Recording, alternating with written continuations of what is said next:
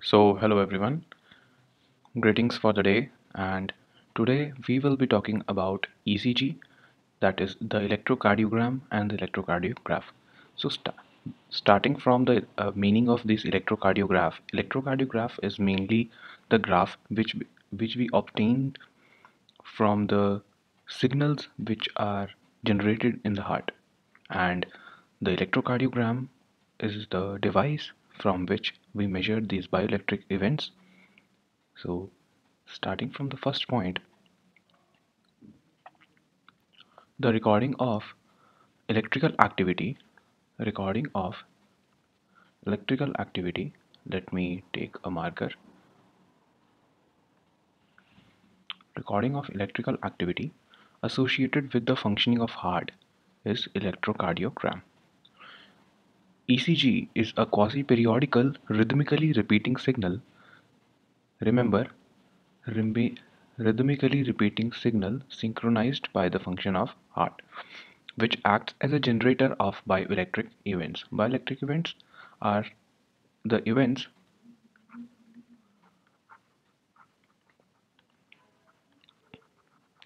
these events are generated inside a living organism the electrical pulses or the electrical impulses which are generated from different organs.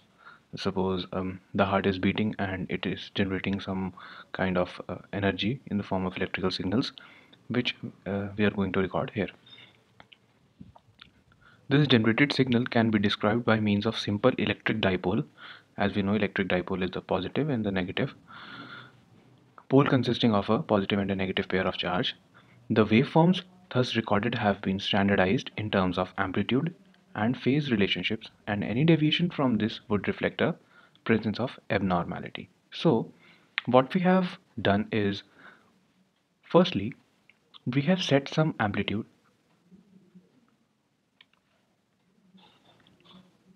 set a default amplitude and phase relations. Which describes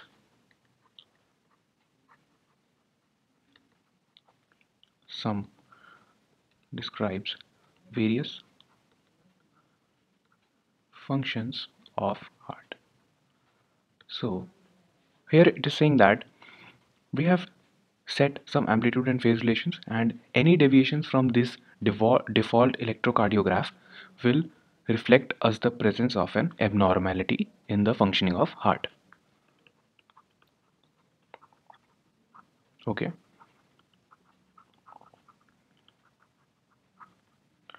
So coming to the next point, the heart has its own system for generating and conducting action potentials.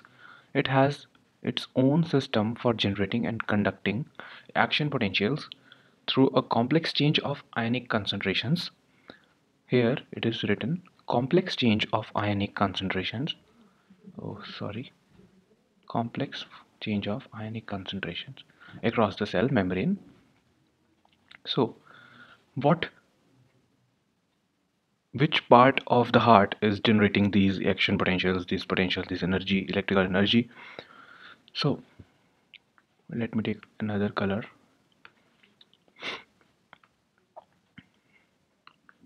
okay. So the generating system is located in the top right atrium near the entry of the vena cava. So the location here we are talking about is this one. Okay. This location we are talking about. They are a group of cells known as the sinoatrial node as also known as SA node. It is very important. It might come in one marker exam one markers. So sino atrial node. Okay. It is also known as the SA node. It initiate the initiates the heart activity and it act as a primary pacemaker from the of the heart. So the SA node, the sinoatrial node is about 25 to 30 millimeter in length and 2 to 5 millimeter thick. So these cells present in the right atrium of the heart is responsible for generating the main electrical pulses which are going to help in the beating of the heart. Coming on to the next point, it generates impulses at normal rate of about 72 beats per minute. This is our standard um, heart rate. Because the body acts as a purely resistive medium, the potential field generated by the SA node extends to the other parts of the heart. So here it is saying that because the body acts as a purely resistive medium, purely resistive, resistive medium, as we have uh, read that uh, what are resistances? From which uh, electrical impulse or electrical electric field can travel. So the potential generated by the SA node, suppose here is the heart and it is a four chambered heart. So here we are generating the here the SA node is generating the impulses and it is traveling to all parts of the heart. Okay. As it is written in the next point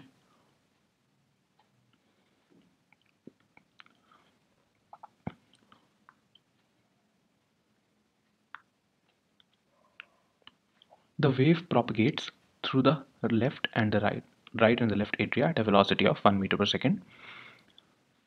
The wave propagates. The wave propagates through the right and the left atria at a velocity of 1 meter per second. About 0.1 seconds are required for the excitation of the atria to be completed. So here it is saying from traveling from here to the this part of the heart or we can say the boundaries. It takes about 0.5 seconds 0.1 seconds. So the action potential contracts the atrial muscle and the impulses spread the node. The node is located at the lower part of the wall between the two atria. The action potential contracts the atrial muscle. The action potential contracts the atrial muscles and impulse spread through the atrial wall about 0.04 seconds to the AV node to the AV node. So what is AV node? So let's understand. Here the heart signal is generated. So then it is traveled from uh, through the tissues and to the AV node. From here it is distributed to all look all the locations of the heart. The AV node delayed delays the de spread of excitation of about 0.12 seconds. So this delay is very important. The delay caused by the AV node is very important. As when the heart is actually beating so this part contract first then this part expands then it contracts the blood flows there and then it works like this due to the presence of a fibrous barrier of non-excitable cells that effectively prevent the propagation of continuing beyond the limits of the atria. So the delay, it, it is caused by the fibrous barrier of non-excitable cells present in the heart. Then a special conduction system known as the bundle of His carries the action potential to the ventricles. So we know that here are, oh, this is the ventricular portion of the heart. So now we have received all the impulses generated by the SA node to the AV node. So the AV node now will transfer all these impulses to the ventricular region of the heart. So here we are repeating the line again. A special conduction system known as the bundle of His carries the action potential to the ventricles carries the action potential to the ventricles the atria and ventricles are thus functionally linked only by the AV node and the conduction system. So this is the ventricular region and here is the atrial region.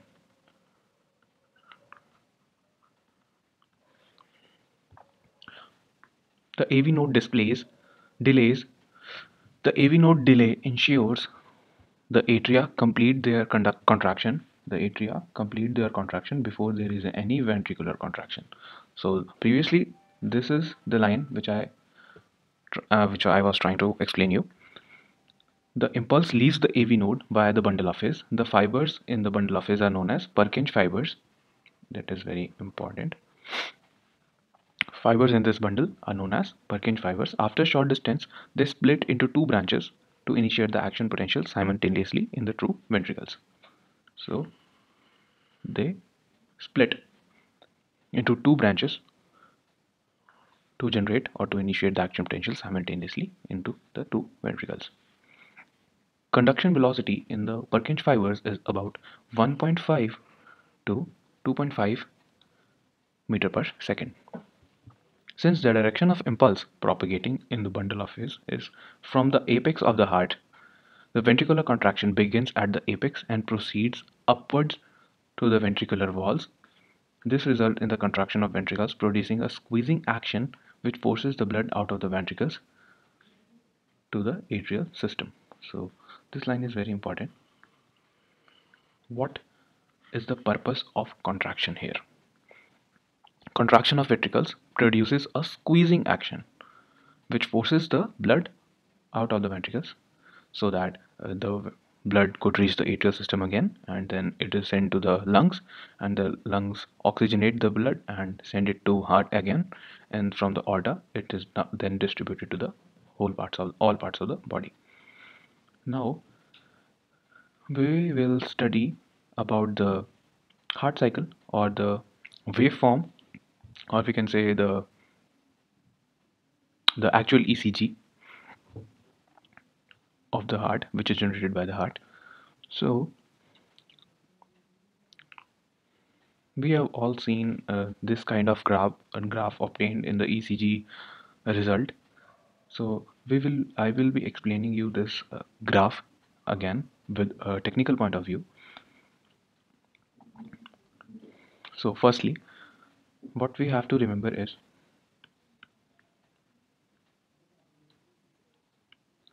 okay firstly we have to remember is P Q R S T U.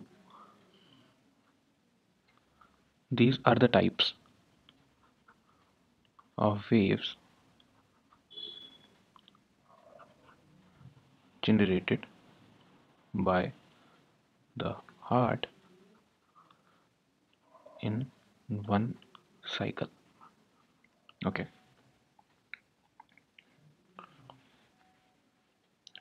You can clearly see that it is the start the electrical activity starts from the P wave then Q wave then R wave then S wave then T then U and then again it is repeated P Q R S T.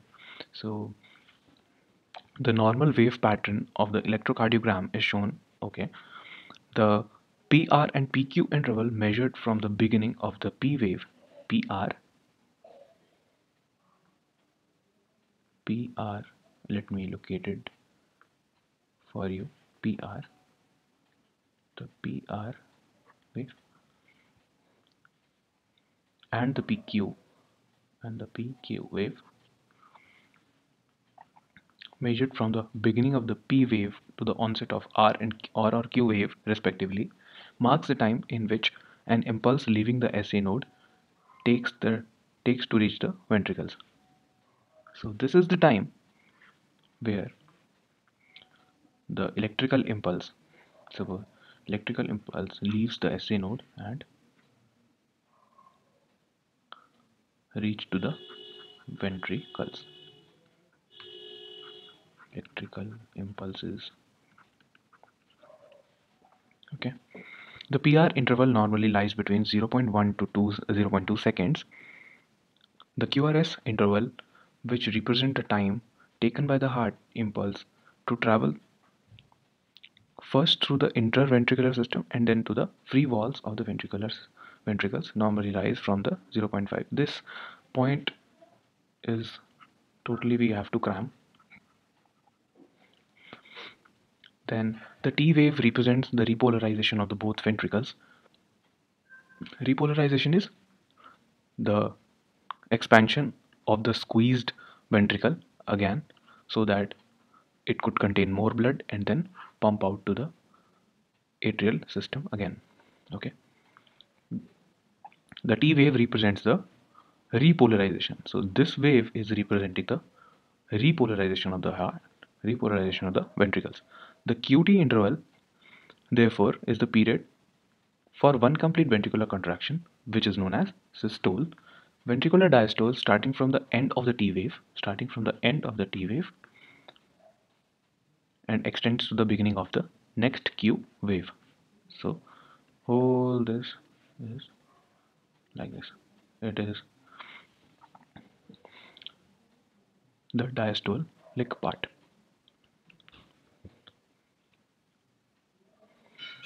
starting from the end of the t wave okay this we have discussed typical amplitude of qrs is 1 millivolt typical amplitude this we have to remember the amplitude of the QRS wave is the one is one millivolt for a normal human heart, which when recorded in one lead, lead one position. Okay. So coming on to the electrocardiograph. So firstly, we have to discuss uh, what is basically a electrocardiograph is. So it is an instrument which records the electrical activity of heart and it has a great clinical significance. ECG provides a valuable information about a wide range of cardiac disorders, such as the presence of an inactive part or infarction or an enlargement of the heart muscle. So basically, basically it tells about uh, the functioning of basically the valuable information which is um, needed for uh, needed to cure a heart problem. Okay. Electrocardiographs are used in the catheter catheterization of uh, laboratories Electrocardiographs are used in catheterization laboratories, coronary care units, and for routine diagnostic applications in cardiology.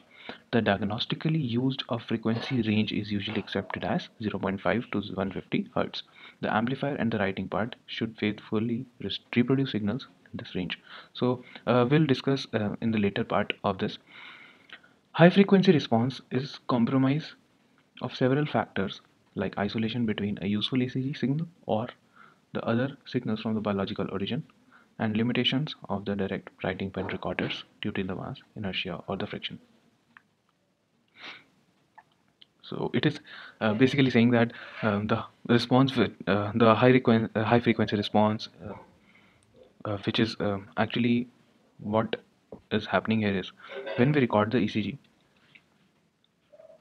when we record the ECG, so here other types of biological signals interfere interfere with the electrical signals. So there is a limitation in this um, you can say the recording part. So coming on to the block diagram description of an electrocardiograph. So firstly uh, we all have seen the electrodes, ECG electrodes placed on the patient's body.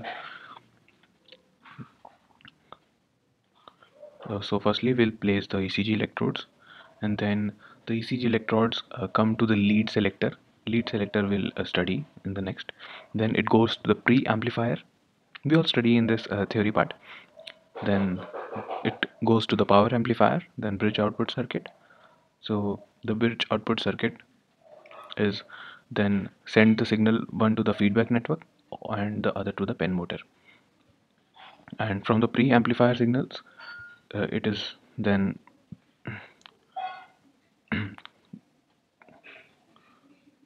uh, the pre-amplifier uh, receives the signals from the auxiliary circuits and the auxiliary circuits uh, also sends the signal to the chart transport motor. So mainly what is happening here is the potentials picked up by the patient electrodes are taken to the lead selector. In the lead selector, the electrodes are selected into 2 by 2 according to the lead program. So in the lead selector, we have a lead program which uh, selects the different types of leads one by one. So by means of capacitive coupling, the signal is connected symmetrically to the long tail pair of differential preamplifier. The preamplifier is usually a 3 or 4 stage differential amplifier having a sufficiently large negative current. Feedback from the end stage to the first stage which gives the stabilizing effect. So uh, what we uh, what we have to remember in this is it gives a stabilizing effect. Okay. The amplified output signal is picked up by the single-ended and is given to the power amplifier. The power amplifier is generally of the push-pull differential type. The base of the one input transistor of the amplifier is driven by the pre-amplified unsymmetrical signal. The base and the other other resistor other transistor is driven by the feedback signals resulting from pen position and connected by a frequency selective network. The output of the power amplifier is single-ended and then it is fed to a pen motor which deflects the writing arm onto the paper. A direct writing recorder is usually adequate since the ECG signal of interest has been has limited bandwidth. Frequency selective network has an RC network, RC, resistive and capacitive, resistance and capacitance which provides a necessary damping of the pen motor and is prevent, uh, preset by the manufacturer. The auxiliary circuits provide a 1, millimole, 1 millivolt calibration signal and automatic blocking of the amplifier during a change in the position of lead switch. It may include a speed control circuit for a chart drive motor. So what is standby mode? Standby mode is the stylus moves in response to the input signals, but the paper is stationary. This mode allows the operator to adjust and gain the baseline positions controls without the wasting of paper. So this is important. Okay then, see you in the next video. And if you like it, if you get um, some suggestions for me, then do write it in the comment box below thank you so much for watching